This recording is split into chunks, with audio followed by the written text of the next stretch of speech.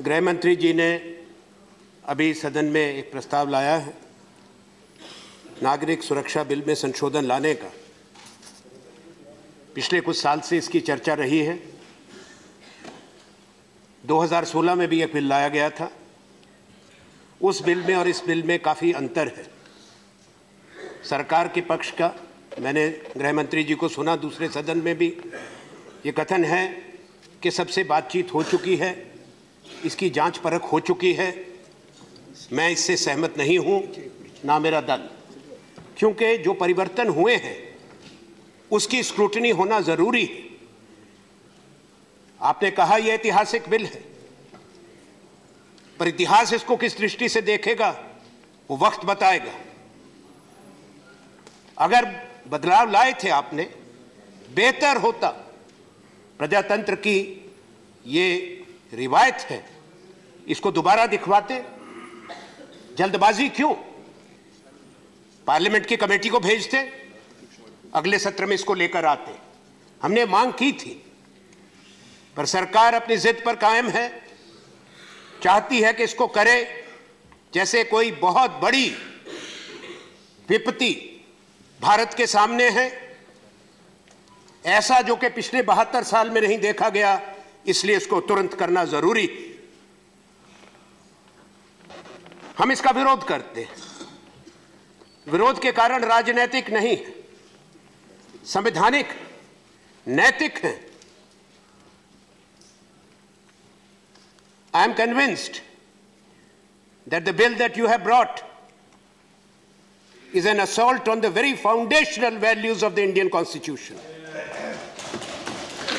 it is as assault on the republic of India it hurts the soul of India It's against our Constitution, against our democracy. It fails the morality test. It's divisive and discriminatory. It is against the very preamble of the Constitution of our Republic, which talks of liberty, equality, and secularism. This is the reason I stand to oppose. नागरिकता हिंदुस्तान की आजादी के बाद देश का बंटवारा हुआ था। नागरिकता की व्याख्या और कानून बनाने की आवश्यकता पर भारत की संविधान सभा ने व्यापक चर्चा की थी, जिसके राजेंद्र प्रसाद जी प्रथम राष्ट्रपति अध्यक्षता करते थे। Doctor B R Ambedkar drafting committee के चेयरमैन थे और संविधान की समिति के अध्यक्ष पंडित जवाहरलाल नेहरू थे। जिनका एक बहुत बड़ा योगदान और कुर्बानी हिंदुस्तान की आज़ादी में है। पार्टीशन की पीड़ा पूरे देश को थी। जो लोग उस समय थे नेता, जिन पर जिम्मेवारियाँ थी, जिन्होंने हिंदुस्तान की आज़ादी की लड़ाई लड़ी थी, महात्मा गांधी के नेतृत्व में राष्ट्रीय आंदोलन में हिस्सा लिया था, उनको मालूम था कि नागरिकता का बंटवारे के बाद क्या महत्व है। उसको सब इन्होंने समझा। पर सिटीजनशिप का कॉन्सेप्ट क्या है माननीय? वो भूगोलिक, टेरिटोरियल है, जन्म से स्वयं के जन्म से माता पिता के जन्म से, और हमारे संविधान निर्माताओं ने तो आगे जाकर ग्रैंड पेरेंट्स के जन्म से भी किया ओरिजिन से किया, दादा, दादी, नाना, नानी, वो सब इस संविधान के अंदर शामिल किए गए। धारा पाँच से लेकर धारा ग्यारह तक, ये संविधान के अंदर। सब कुछ उन्होंने उल्लेख किया है। जो माननीय गृह मंत्री जी ने अभी कहा कि जो विस्थापित थे, जो पीड़ित थे, बंटवारे के बाद क्या संविधान निर्माताओं का यह सम्मान करना है? अगर हम ये कथन करें आज 2019 में, बहत्तर साल के बाद, कि उनको कोई समझ नहीं थी, उन्होंने इस पर गौर नहीं किया था, कुछ नहीं सोचा था। ये गलत बात जहाँ तक नेचुरलाइजेशन प्रोसेस का आपने ज़िक्र किया, कि लोगों को नागरिकता दी जाए, उसमें कोई भेदभाव नहीं किया गया भारत के संविधान में। कोई परहेज नहीं है। हिंदुस्तान के बंटवारे से उजड़े और उत्पीड़ित लाखों लोग जो पश्चिम और पूर्वी पाकिस्तान से आए थे, उनको क्या सम्मान नहीं मिला? दो दो प्रधानमंत्री भी बने। एक डॉक्टर मनमोहन सिंह जी यहाँ बैठे, एक आई के गुजराल भी थे। हमको मालूम, परिवार टूटे थे। रक्तपात और नरसंहार हुआ था। गृह मंत्री जी, उनको न्याय दिलाना, बराबरी का अधिकार और समान अधिकार, ये प्रतिबद्धता भारत देश की थी। देश के संविधान निर्माताओं ने सुनिश्चित किया था। मैंने बताया, स्पष्ट प्रावधान जो आप लेकर आए हैं, कोई नई बात नहीं। आर्टिकल छह में लिखा है। मेरे बाद मेरे और साथी भी बोलेंगे, जो अच्छे कानून के अधिवक्ता हैं, वो इसका उल्लेख करेंगे कि संविधान में मुख्य सिटीजनशिप एक्ट में नहीं, संविधान में इसका प्रावधान किया गया है। जहाँ तक सिटीजनशिप एक्ट की बात है 1955 में आया। उसके बाद इसमें नौ बार बदलाव भी हुआ, संशोधन हुआ, पर मूलभूत जो हमारा संविधान है, उसमें कोई किसी संशोधन से कोई परिवर्तन या कोई टकराव किसी संशोधन में कभी नहीं हुआ। आपने मान्य गृह मंत्री जी, इतिहास बड़ा महत्व रखता है। मेरा कर्तव्य बनता है सदन में उसको रखूँ, क्योंकि आपने दूसरे सदन में माननीय हिंदुस्तान के बंटवारे का ज़िक्र किया और बंटवारे का दोष उन लोगों पर लगाया भारतीय राष्ट्रीय कांग्रेस पर और उन नेताओं पर जिन्होंने अंग्रेज़ों की जेलों में बरसों गुजारे, कुर्बानियाँ दी और हिंदुस्तान की आज़ादी के लिए संघर्ष किया। यह न्यायोचित नहीं, मैं आपसे आग्रह करता हूँ, राजनीति अगर आप कहते नहीं होनी चाहिए तो यह राजनीति भी बंद होनी चाहिए। वो महात्मा गांधी के नेतृत्व में था। उसमें सरदार पटेल, सुभाष चंद्र बोस, मौलाना आज़ाद सब लोग शामिल थे। उनके स्वतंत्रता सेनानियों के संघर्ष को आपको उनके मत से, विचारधारा से कोई भी परहेज हो, पर इतिहास में वो अंकित है, उससे इनकार नहीं किया जा सकता। अगर वैसा करती है आज की सरकार, मैं कहूँगा उसको नकारना अन्याय होगा, इतिहास का अपमान होगा। इतिहास को बदला नहीं जा सकता। दुनिया में बहुत यह कोशिश हुई। कई सरकारें, कई शासक नया इतिहास लिखा है, पर वो लिख नहीं पाए, क्योंकि कोई भी जीवन में, मनुष्य के जीवन का यही है, यही राजनीति और यही सच्चाई प्रजातंत्र की है। कभी ना कभी जब परिवर्तन होते हैं सच्चाई और इतिहास अपने आप को पुनः प्रचंड रूप में प्रकट करती है। एक नज़रिया मान्यवर उन लोगों का भी था, जो गांधी जी और कांग्रेस जी के मत, कांग्रेस के मत के विरोधी थे। उसमें मुस्लिम लीग थी, जिन्ना उसके नेता थे। हिंदू महासभा थी, विनायक सावरकर उनके नेता थे। टू नेशन थ्योरी जो बंटवारे की है, वो कांग्रेस ने नहीं लाई मान्यवर। उन्नीस सौ सैंतीस में अहमदाबाद में हिंदू महासभा ने प्रस्ताव पारित किया था। उसकी अध्यक्षता सावरकर जी ने की थी।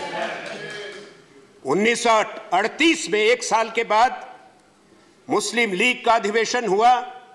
उसमें partition of India resolution adopt किया गया। और इसमें जी, फजलुल हक ने मूव किया, जो बाद में इनके साथी भी बने बंगाल में, जो मुख्यमंत्री बने और पाकिस्तान के प्रधानमंत्री बने जाकर।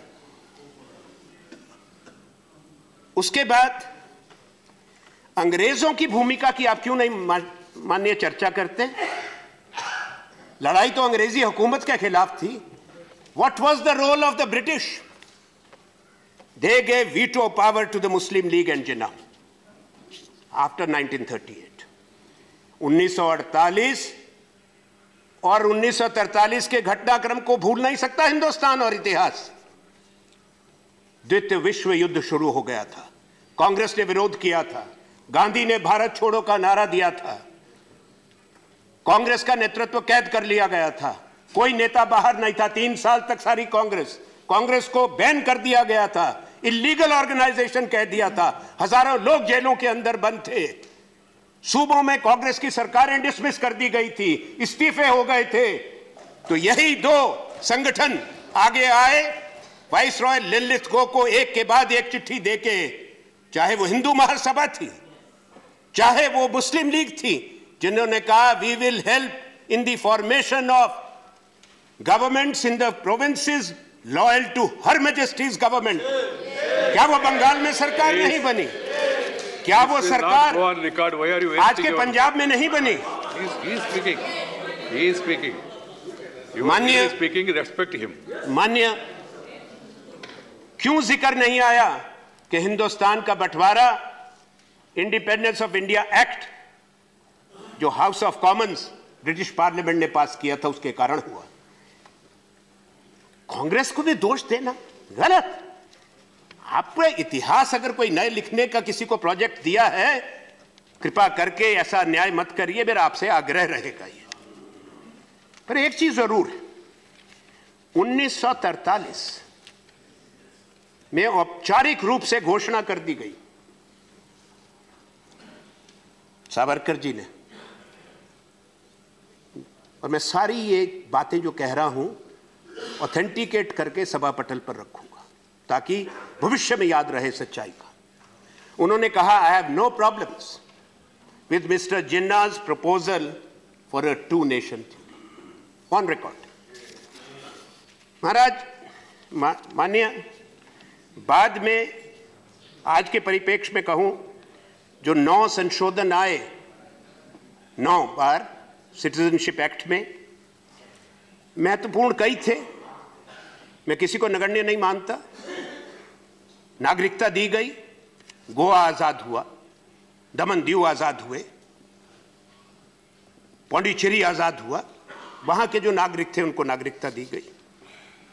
उसके बाद अफ्रीका में, कीनिया में, युगांडा में तकलीफ़ आई, भारतीय मूल के लोगों को, सिलोन में आई, श्रीलंका में, वहाँ से उनको निकाल दिया गया। भारत सरकार ने आवाज़ उठाई, अंग्रेज़ी हुकूमत से बात करी जो लोग यूके में जाके रहना चाहते थे, जो वहाँ की नागरिकता मिली, और जो हिंदुस्तान वापस आना चाहते थे, जिसमें से माननीय गृह मंत्री जी बहुत आपके गुजरात में भी हैं, जो कीनिया से आए हैं, बहुत हैं जो युगांडा से आए हैं। उनको सम्मान भी मिला, अधिकार भी मिला, नागरिकता भी मिली, ज़मीन भी मिली, कारोबार भी। तो ये कहना कि बहत्तर साल में वो करोड़ों करोड़ों लोग उजड़े उत्पीड़ित रहे और किसी सरकार ने कुछ सोचा नहीं। आप इसको लाने से पहले सोचते, सब सरकारें हमारी तो गलत रही। मान्यवर छह साल श्री अटल बिहारी वाजपेयी भी थे देश के प्रधानमंत्री। कृपा कर। तीन बार बने। एडवाणी जी प्रधानमंत्री रहे। इसी सदन में इस पर चर्चा हुई है। आप उसका उल्लेख भी करेंगे। मैं ये बात कहना चाहता हूँ। कि जब भी संशोधन हुए, जब भी नागरिकता दी गई, भारत की सरकार और संसद ने धर्म को कभी अधिकार आधार नहीं बनाया नागरिकता का, कभी भी। इसलिए हमने कहा यह हमारे मूलभूत सिद्धांतों से टकराता है। Article 14 which guarantees equality before law and equal protection of laws Article 15, which prohibits any discrimination on religion, color, caste, or creed. Given the time constraints, I'm not reading it, I'm just referring to these articles. Therefore, this bill of yours fails the constitutionality test. Bharat ने refugees को शरणार्थियों को सदैव शरण दी दुनिया के उत्पीड़ित लोग जो हिंसा के शिकार थे, जिनका तिरस्कार हुआ, अपमान हुआ, भारत ने सदियों से उनको शरण दी। चाहे वो यहूदी थे, पारसी थे, ईसाई थे, मैं कहूँ मान्यवर, आवश्यक समझता हूँ, एक तारीख का ज़िक्र करना 11 सितंबर का इलेवन नाइन नाइन इलेवन, दुनिया में आज कही जाती है, उसको अमेरिका पे जो हमला हुआ था, उससे याद करके। पर पिछले 126 बरस में चार घटनाएँ हुई हैं। 9 सितंबर को 9/11 एक तो अमेरिका का हमला हुआ, मैंने बताया। एक 1973 में हुई थी यह भी दुखद थी। जब चिली में सेल्वेडर एलेंडे को मार दिया गया था, दसियों हज़ार लोग कत्ल कर दिए गए थे मिलिट्री को में। तीसरा, जो अच्छा था, महात्मा गांधी का सत्याग्रह, वो भी 9 सितंबर 1906 को जोहानसबर्ग, साउथ अफ्रीका से शुरू हुआ था, जिससे हिंदुस्तान बाद में आज़ाद हुआ। पर जिस 9 सितंबर का मैं ज़िक्र कर रहा हूँ, वो है 9/11 1893 स्वामी विवेकानंदा आप स्वामी विवेकानंदा जी को मानते हम सब मानते हैं। पूरे देश को उन पर गर्व है, जो उन्होंने कहा, हम हृदय से उनका सम्मान करते हैं। अधिकांश भारत के लोग, चाहे वो हिंदू हैं या किसी भी धर्म के हैं स्वामी विवेकानंद को दुनिया मानती है। शिकागो जाएँ, वहाँ के सिटी हॉल की हर सीढ़ी पर एक एक पंक्ति उनके उस भाषण की लिखी है। जो वर्ल्ड रिलीजन कॉन्फ्रेंस में उन्होंने दिया था और क्या लिखा था I am proud to belong to a nation which has shelter the persecuted and the refugees of all religions and all nations of the earth. I am proud to tell you that we have gathered in our bosom the purest remnant of the Israelites who came to southern India and took refuge with us in the very year in which their holy temple was shattered to pieces by Roman tyranny. I am proud to belong to a religion which has sheltered and is still fostering the remnants of the grand Zoroastrian nation.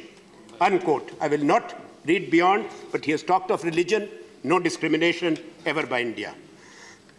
तो जिस देश ने ये कहा आपकी क्या प्राथमिकता होनी चाहिए हमने संयुक्त राष्ट्र संघ में ह्यूमन राइट कन्वेंशन को हमने, उसको तो रेटिफाई किया।